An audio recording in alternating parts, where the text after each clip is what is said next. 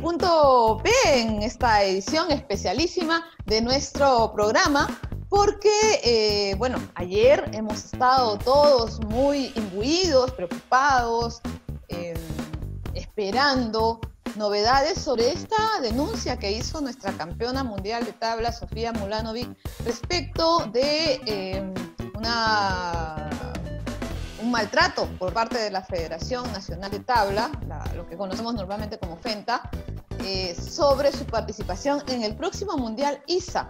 Recordemos que Sofía Mulanovic es la campeona vigente del Mundial y eh, está también buscando un cupo hacia los Juegos Olímpicos de Tokio, que por la, la pandemia que lamentablemente estamos viviendo debió ser postergado para este año vamos a, poner un poquito sobre, sobre el tapete cuál es la situación hasta el momento. Eh, eh, eh, Sofía ha denunciado que ella, por ser campeona vigente, debería ir o tener cupo directo al Mundial, donde se va a disputar el cupo hacia Tokio. No obstante, ayer la FENTA emitió un comunicado en el cual indicaba que Sofía no ha sido dejada de lado dentro de la selección, sino que se le ha convocado junto a otras 13 deportistas para eh, un preselectivo, algo que Sofía ha considerado una falta de respeto a su categoría, a su eh, nivel de triple campeona mundial y campeona mundial vigente. Para ello hemos convocado a los representantes, o al representante en este caso, de la FENTA. Estamos con el secretario general de la, de la organización, el señor Fernando Villalobos, a quien pues le vamos a consultar cuál es la situación actual. Hoy sábado, cuando eh, Sofía ha emitido em, eh, nuevos, nuevos discursos respecto de lo que le ha significado el nuevo comunicado de la FENTA y qué es lo que va a pasar, porque creemos, como todos, que lo más importante aquí es que el Perú esté representado por sus mejores exponentes y que todos ellos reciban pues el trato que corresponde. Señor Villalobos, buenos días, eh, bienvenido al poli.p. Hola Margarita, ¿qué tal? Un gusto, ¿qué tal? ¿Cómo estás? Igual, aquí preocupados, ¿no? Preocupados porque todos conocemos a Sofía, es un ícono del deporte nacional, es, creo, eh, sin temor a, que, de repente lo, interpreten mal, el, uno de los máximos, sino el máximo exponente del deporte peruano, ¿no? no solo de la tabla, sino del deporte peruano por todo lo que ha conseguido y porque además a sus 37 años está totalmente vigente. Entonces nos sorprende y preocupa la decisión de la FENTA de no incluirla, mejor dicho, de no darle el cupo directo hacia el Mundial que se va a desarrollar el próximo mes en El Salvador. ¿Por qué esta decisión? ¿Qué es lo que ha sucedido? Por favor, explíquenos y, denos buenas nuevas, porque queremos que todo esto se solucione en bien de los deportistas, básicamente, para que lleguen de la mejor manera pues, a disputar esos cupos olímpicos, porque son cupos, no es un solo cupo. Ah, eh, eh, mira, eh, nosotros también estamos sumamente preocupados como junta directiva, ¿no? Pero este, no sé si puedo decir lamentablemente, pero nosotros tenemos que cumplir las normas, tanto internacionales como las nacionales. En ese sentido, ¿cierto? Eh, los únicos deportistas en estos momentos clasificados directamente con cupo al Mundial son los deportistas Luca Mesinas y Daniela Rosas. Señor Esto se desprende... Señor Villalobos, perdóneme la interrupción. Quiero que, quiero que eh, eh, puntualizar esta parte clasificados directamente al Mundial. Por favor, recalquemos esto, al Mundial, porque siento que se está generando una confusión a raíz de, del problema. Sí, están clasificados, e, e, ellos están directamente clasificados al Mundial, ¿cierto? Y, con, la posibilidad de acceder a Tokio 2021, ¿no es cierto? Pero lo que ellos tienen que hacer es ratificar una posición que va a ser asumida unos días antes o unas semanas antes por la International Surfing Association. Vale decir, ellos van a tener que entrar en una zona de clasificación para revalidar su presencia en Tokio 2020. Pero esos cupos que ellos se han ganado, se los ganaron por su participación y por haber sido campeones en los Panamericanos de Lima 2019. Los únicos cupos asegurados, de acuerdo a la International Surfing Association, son esos cupos. No hay más. Nosotros no, no podríamos decirle a Sofía o a cualquier competidora que tienen un cupo asegurado cuando las leyes y las normas internacionales no nos lo permiten. Pero no sé si queda claro. Así. Ah, ah, Entonces, ¿qué está pasando? En estos momentos se está conformando una selección nacional, ¿cierto? Todos los procesos para convocatoria de selección nacional pasan por un preselectivo. O sea, no hay nadie que por más que haya sido campeón mundial, esto va directo. Todos pasan por un preselectivo. Sabemos de la importancia que significa para, para nosotros y para el mundo en general y para la comunidad el surfer peruana eh, la presencia de Sofía en este campeonato. Pero nosotros no, puedo, no podemos transgredir esas normas. Por consiguiente, Sofía y todas estas chicas tienen que entrar en un preselectivo y se tiene que cumplir la norma. No hay otra. El campeonato mundial que obtenió Sofía no dio cupos directos en la zona en la cual nosotros nos encontramos, no dio cupos directos, dio cupos directos para la zona de Europa, Asia, Oceanía y África. Ajá. ¿Ok? Eso es lo que la gente está confundiendo. Esas reglas no las ponemos nosotros. Estas reglas son internacionales porque nosotros estamos afiliados a la International Surfing Association. No podemos nosotros pasar por encima de ellos porque podríamos hasta ser desafiliados. Entonces la confusión se crea en el sentido de que la gente piensa de que ella por ser campeona mundial debería tener un cupo y eso no lo decidimos nosotros, lo decide el organismo internacional, lamentablemente. A nosotros nos encantaría que Sofía esté. E, e, es nuestra carta. Nosotros estamos seguros que ella va a hacer un papel importante. Pero lamentablemente todos tienen que ir. No sé, no digo lamentablemente, todos tienen que ir al preselectivo. Es así. Siempre se ha hecho de esa manera. Ella sabe porque ella ya ha estado en otros preselectivos, habiendo sido campeona nacional, eh, perdón, mundial. Eh, después de 2004 se han dado más preselectivos en, la federación. Siempre, siempre, siempre tengo entendido, porque nosotros respondemos por nuestra junta directiva que recién tiene, no sé, 10 meses. Voy Tengo entendido que siempre se han dado los preselectivos para conformar. Eso se da en, no sé si en todas las eh, disciplinas, es por una norma. Nosotros no podemos a dedo decirle a alguien, tú eres de la selección. Tienen que cumplirse ciertos requisitos. En este caso, el requisito en la Federación Nacional de Tabla es que todos los, para conformar una selección, tienen que pasar por un, preselectivo. Es más, es primera vez que se hace esto, tanto con Luca y con Daniela, porque la ISA nos lo ha informado así, porque es un tema que tiene que ver con Tokio porque es primera vez, como usted comprenderá, y creo que todo el mundo sabe, que el surf va a tener presencia en, la justa olímpica. Ahora, yo voy a ir un poquito... Es un poco entreverado. Bastante, diríamos nosotros, y creo que es lo que se presta a la claro, Pero al fin, claro, pero al final ustedes comprenderán, tienen que saber que nosotros, como ente rector del surf a nivel nacional, tenemos que cumplir las normas. No podemos, porque seríamos sujetos a sanción. Eh, voy a ir más allá con este punto, porque la norma dice exactamente que tienen que ir representantes salidos de un preselectivo. La norma dice que tienen que ser de un preselectivo. Escúcheme, no, eh, no sé si exactamente es la norma, pero lo que sí es claro es que las selecciones nacionales de las federaciones salen de preselectivos. Siempre han salido, tengo entendido, selectivos. Y este es el caso no podemos saltar.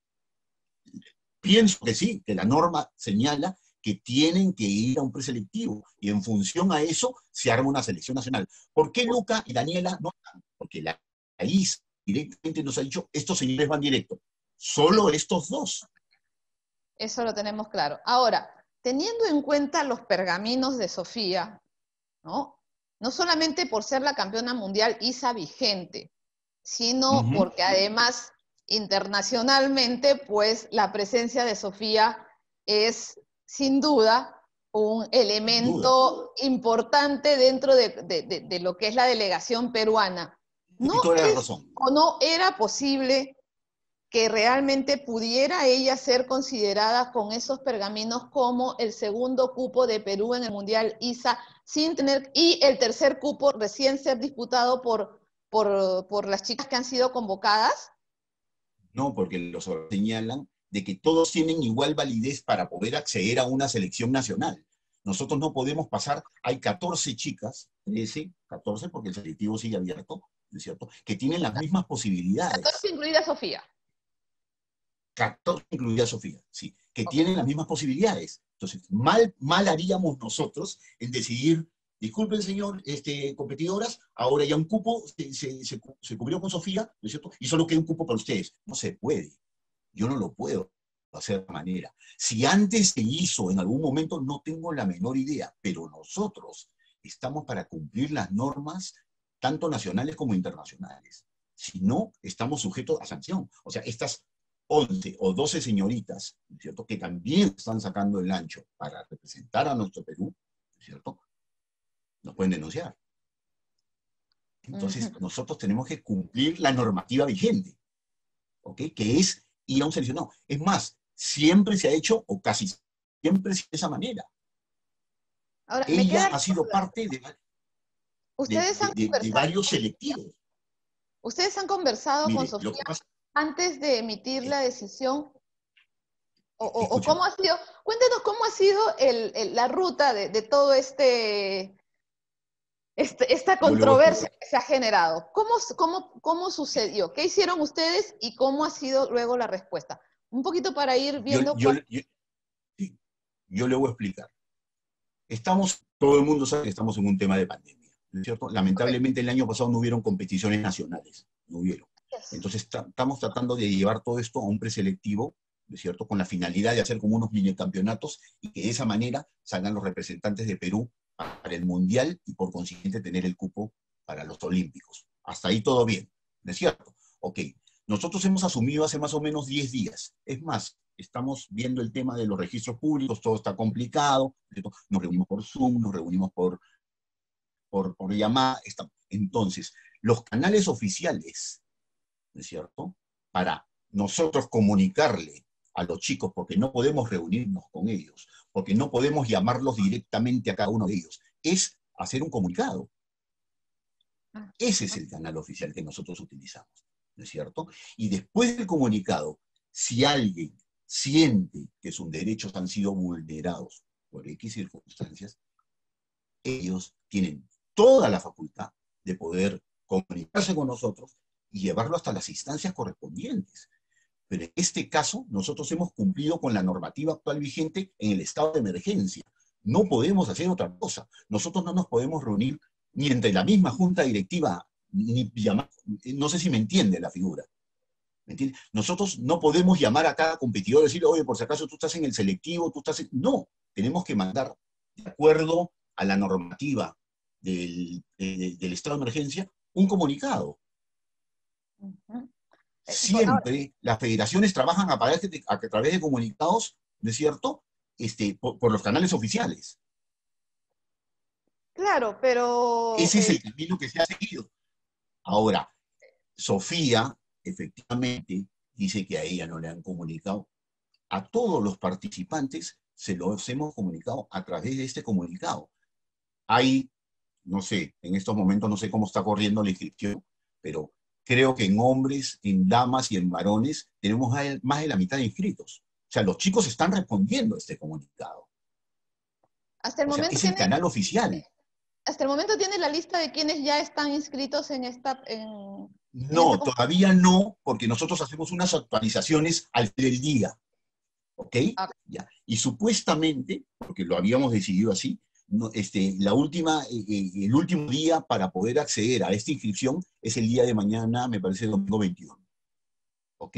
En la cual ya saldrían las listas oficiales de los preselectivos. Ok. O sea, quiero, quiero que entiendan, o sea, mire, este, señorita Margarita, para nosotros sería importantísimo que Sofía vaya. Eh, de repente, nuestro corazón siempre estado con Sofía y queremos, pero no podemos pasar por encima de las normas. Entonces, por consiguiente, ahorita todos los preseleccionados están en la misma posición, tienen que pelear su cupo. Nadie aseguró un cupo a nadie.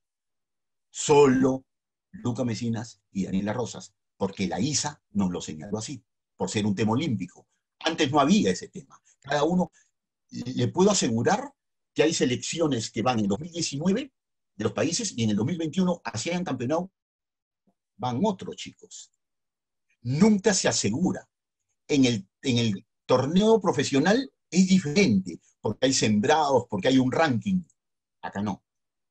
Esas son nuevas selecciones, además, también. Así es. Es un, es un torneo de selecciones peruanas y, y, de diferentes países y todos se rigen por, por los, por, por, su ente rector, en ese caso que es la FENTA, ¿no es cierto? Y la FENTA, como siempre, ha decidido que se hagan sus preseleccionados y que es ahorita, porque normalmente, como le explicaba, eh, se tomaban las actuaciones de los deportistas en las competiciones nacionales, por decirle. En el 2020 debieron, hacer, debieron haber por alrededor de seis competiciones este, nacionales. Lamentablemente no se hizo ni una. Es más, mire, un dato adicional. El único campeonato que ha habido nacional, o sea, nacional no, en el Perú, en el último, en los últimos, en el último año y medio, ha sido la Copa Gordo Que se llevó a cabo ahora en Punta Roquitas y Miraflores, hace, no sé, de pronto dos meses. ¿ok? Quien ganó fue Vania Torres, segunda quedó, me parece la chica Kalea Cervasi, tercera quedó Sofía Mulanovich y cuarta quedó Mar Pérez del Solar.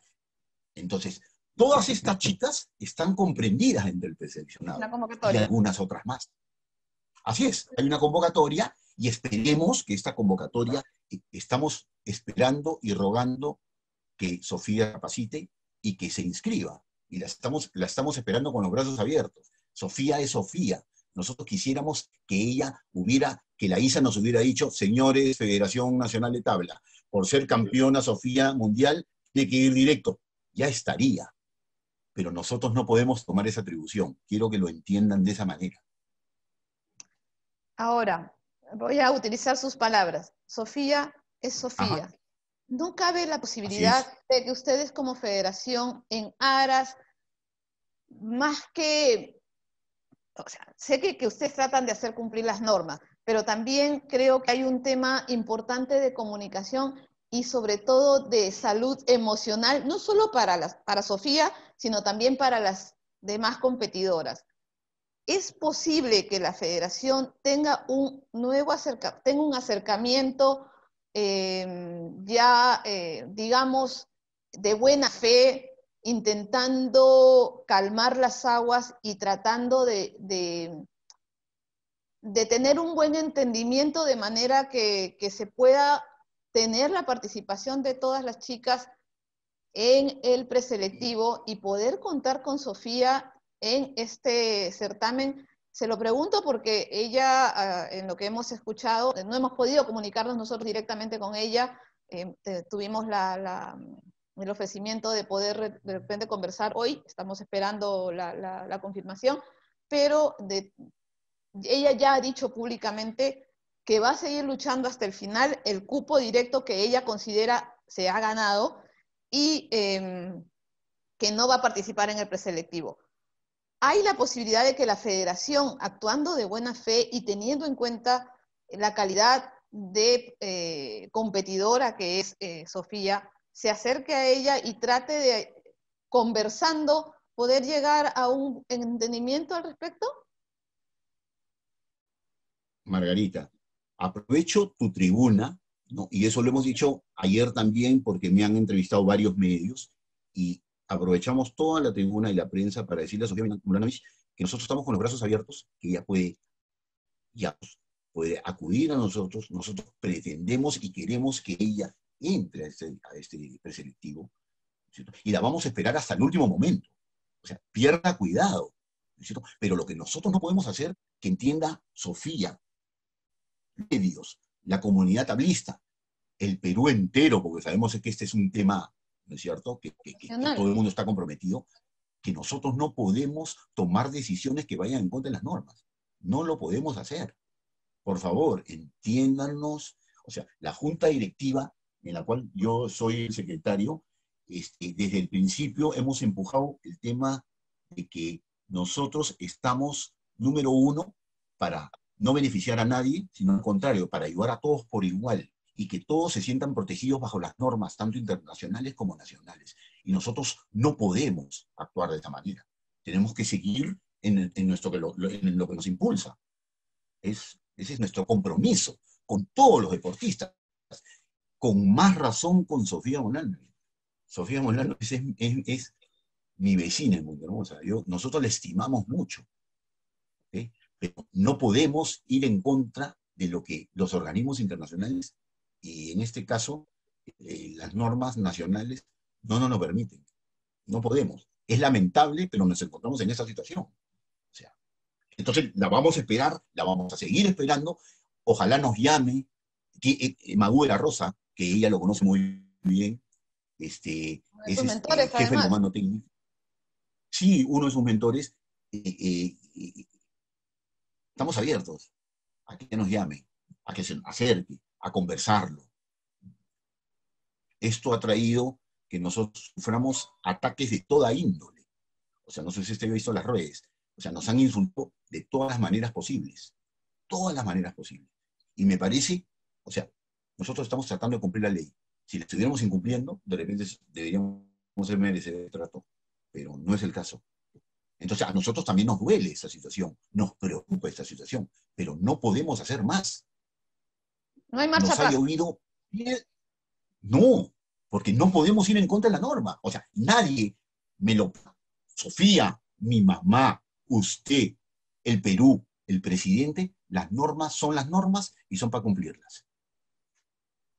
Ahora, para cerrar un poquito este tema, espero, no, espero, voy a decir cerrar por la entrevista, pero espero que no se cierre en el tema de no tener a, Sofía mire, como le digo, nosotros vamos a esperar a Sofía hasta el último momento. Que recapacite. Nosotros queremos, el, por el bien del surf en el Perú, que recapacite y que nos acompañe. Muchas de las chicas que están en este preseleccionado han sido alumnas de ella la, la, admiran. O sea, yo le pregunto, no sé si no lo han enseñado. Dígame. O sea, ¿qué es lo mejor que le puede pasar a un profesor? Que su alumno, de cierto momento, o sea, estas chicas han estado en el proyecto Sofía. Imagínense ahora en esta situación, ¿no? O sea, vamos a apoyar, vamos a empujar. Estamos pidiendo que todo el mundo empuje el carro, pero ojalá Ojalá, vamos a esperar con los brazos abiertos hasta el final, pierda cuidado, ese es el ánimo de siempre, con Sofía y con todos, ¿ok? Y, y seguimos para adelante. Hay un tema que me preocupa y este es con la que quería cerrar el tema, Sofía, básicamente, porque luego le tengo un parcito de preguntas más. Pero básicamente este tema de Sofía es el, el, cómo está el ambiente, porque eh, este tipo de, de situaciones por más que no se quiera, a veces eh, resquebraja un poco lo que es la parte psicológica, la parte emocional, tanto para quien está haciendo la denuncia como para los que de alguna manera están alrededor involucrados en el tema. ¿Qué, se percibe dentro de las competidoras, que muchas de ellas pues han sido sus alumnas? Claro que sí, claro que sí. nosotros como Junta Directiva estamos sumamente preocupados, pero estamos esperanzados rogándole a Dios que Sofía recapacite y que nos acompañe en este proceso. Y definitivamente esto también afecta en parte a los a, competidores, ¿no es cierto? Pero no podemos dar marcha atrás, porque las normas son las normas y las tenemos que cumplir. No depende de nosotros. Quiero que entiendan que la clasificación tanto del, del chico Lucas como de, de Daniela Rosas viene de una directiva del organismo al cual no estamos afiliados no podemos hacer más. No podemos cambiar de nombre, no podemos. Daniela y Lucas se han ganado el pleno derecho a estar ahí. Y esperemos que Sofía esté en los selectivos y si Sofía va al Mundial, que vive el porque sabemos que siempre nos ha representado de la mejor manera. De hecho, hace dos años ya. claro, pero estamos tratando, lugar de estamos tratando de ponerle, de ponerle un poco de paños fríos a la cosa, ¿no es cierto? Porque o sea, Margarita comprende de que nosotros no estamos en una junta directiva para agradarle al, no sé, a las redes. Nosotros estamos para pelear por los derechos de nuestros federados, de nuestros deportistas, ¿no es cierto? Y para cumplir las normas. No, no podemos caminar porque ahora la gente dice, y por aquí no. Tenemos que ir directo a los objetivos. Entiendo. Ahora, vamos a la otra parte. Ya eh, eh, Daniela y, Luca están clasificados al Mundial. Vamos a volver a repetir, al Mundial ISA, porque hemos escuchado y leído por ahí que se dice que le están quitando el cupo olímpico o que no. No, el cupo olímpico todavía está allí para competir. Entonces, lo que están buscando ahorita los deportistas es estar en el Mundial y del Mundial conseguir los cupos que se puedan para eh, estar en Tokio 2020. Para cada país hay máximo dos cupos, tanto en damas como en varones. Es conforme. El Perú es conforme. En principio tiene un cupo para dama y un cupo para varones, que eh, se lograron. No, esos cupos, ya, esos cupos ya están asignados a Perú, sino que lo que no tienen es nombre propio. Exacto, ya eso quería llegar, eso quería llegar. claro, Luca, Mesinas el oro en, los Juegos Panamericanos consiguieron los cupos para el Perú. Y voy a hacer un paralelo para que eh, algunas personas que no lo comprenden eh, lo, tengan claro. Algo parecido a lo que ocurre en el tiro, por ejemplo. Se hacen las competencias, un deportista puede lograr el cupo, no necesariamente la clasificación de sí mismo a las competencias. Ya es potestad de la federación, en el caso de tiro estoy hablando, eh, de, decidir si ese mismo deportista es quien lo representa o de repente hacer como ustedes están haciendo. No, no, no, no, no, no. No. En este caso, los cupos ganados por el Perú y tienen que ir al Mundial tienen nombre. Son Luca Mesinas y Daniela Rosas. Lo que no tiene nombre es que si ellos no llegan a un, a un nivel de clasificación, puede entrar otro peruano que esté mejor ubicado a nivel de clasificación. Pero el cupo ya lo tiene Perú. Ajá. Ahora, si Daniela. Ok, eh, Daniela y Luca, por ejemplo, sé que hay, eh, hay ocho cupos, perdón, siete cupos para damas y cinco cupos para varones del Mundial hacia Tokio, ¿cierto?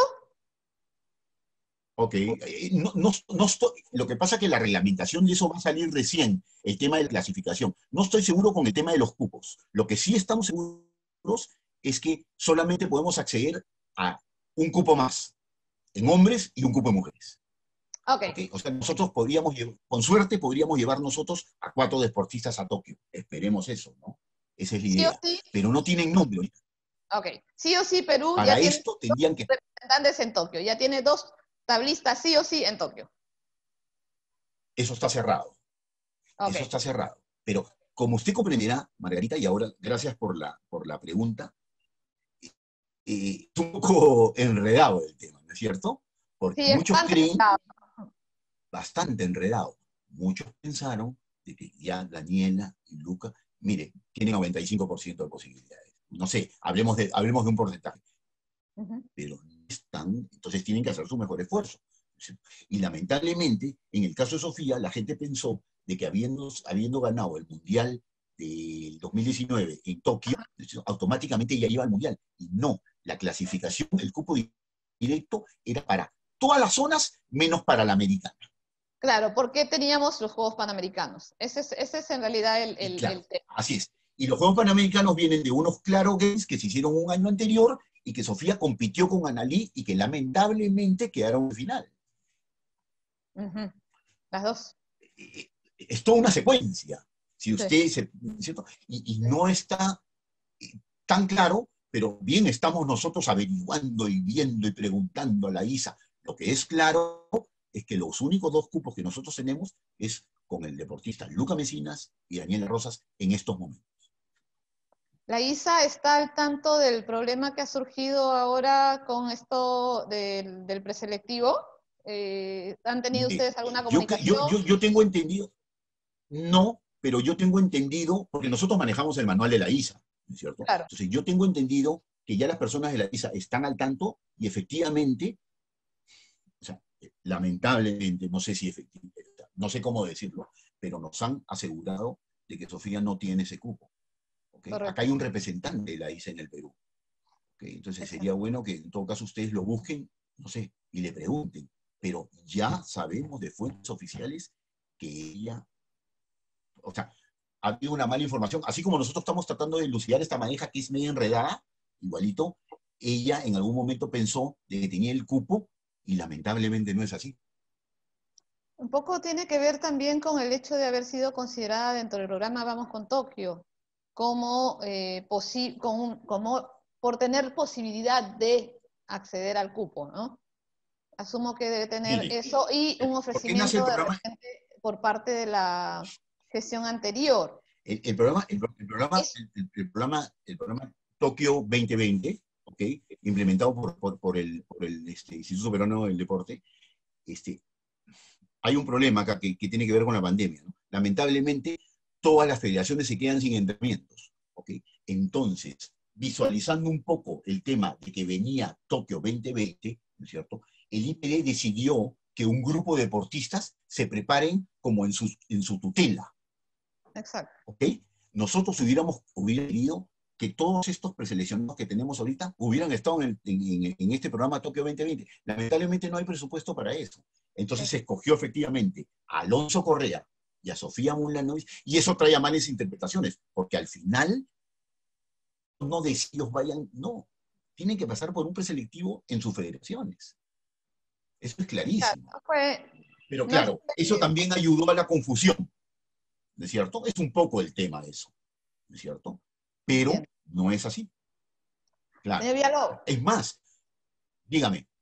Eh, nada, justo le, iba a decir para que continúe sobre este tema. Continúe, por favor. Ya. Es más, como yo le dije hace un momento, nos hubiera encantado que hubieran habido más deportistas en el programa 2020, más, más surfistas.